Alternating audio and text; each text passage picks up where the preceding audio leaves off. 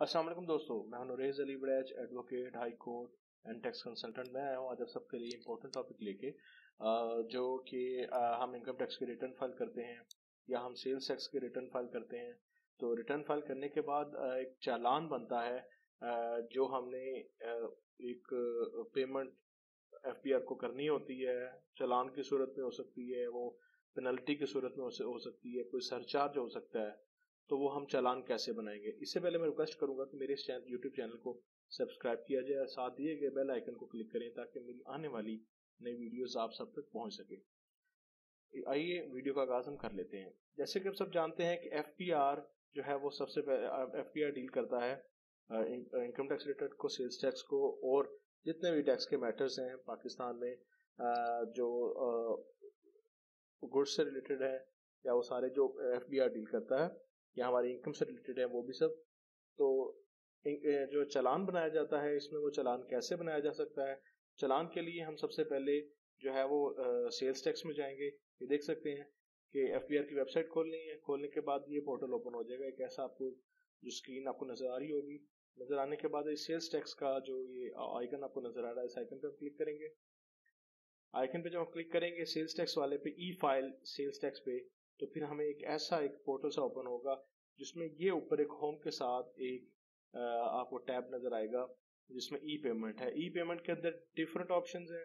Assets declaration sales tax federal excise income tax और इस तरह फर्दर जो टैक्स हैं, हम चूँकि आज इनकम टैक्स की बात ज़्यादा करेंगे तो इनकम टैक्स पे हम क्लिक करेंगे।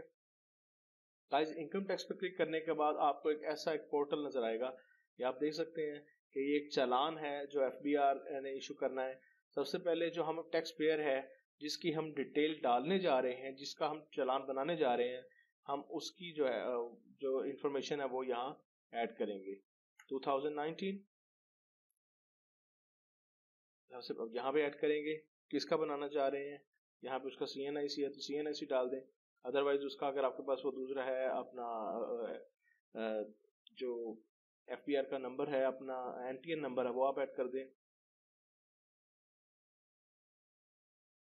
वो ऐड करेंगे। अब देखिएगा ऑटोमेटिकली जो सिस्टम है, वो जो बंदे का नाम ऑटोमेटिकली उठा लेगा।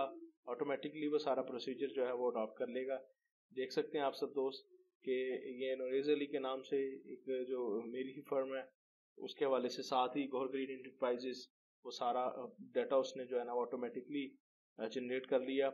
अब ये बता, अब ये पूछेगा नीचे डायरेक्ट टैक्स पेमेंट में कि आप कौन सी जो है वो पेमेंट आप करना चाह रहे हैं। अगर हमने रिटर्न फ़ाइल कर ली है रिटर्न फ़ाइल करने के बाद हज़ार या दो हज़ार या दस हज़ार जितना भी टैक्स एडमिट है तो हम एडमिट टैक्स में जाएँगे। कोई एडवांस टैक्स है तो हम एडवांस टैक्स में जाएँगे। सीवीटी है डिमांडेड इनकम टैक्स है मिसलिनियस है।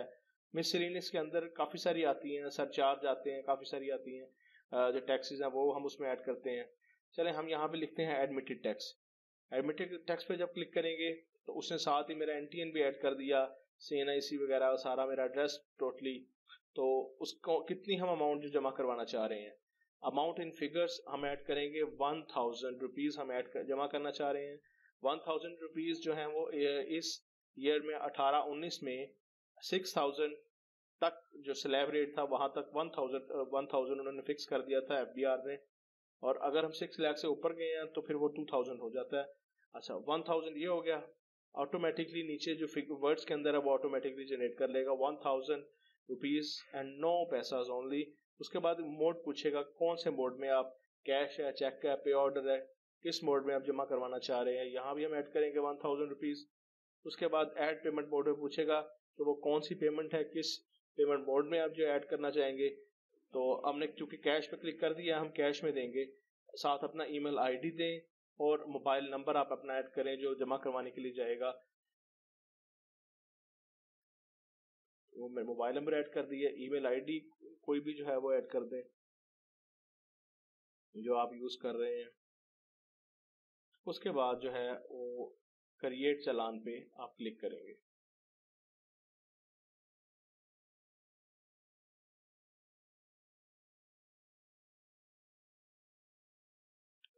ये सॉरी ये टैब रह गया एडमिटेड टैक्स पे। तो मैं सोच रहा था क्यों नहीं उठा रहा। ये एडमिटेड टैक्स में आ गया।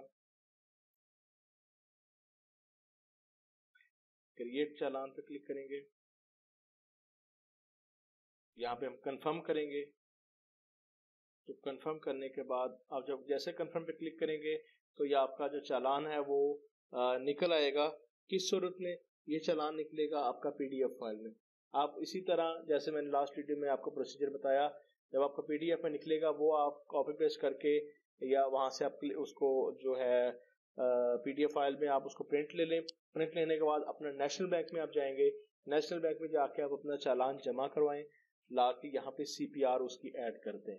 ये था गाइस पूरा प्रोसीजर जो इनकम टैक्स रिटर्न का या सेल्स टैक्स का चालान जमा करवाने का।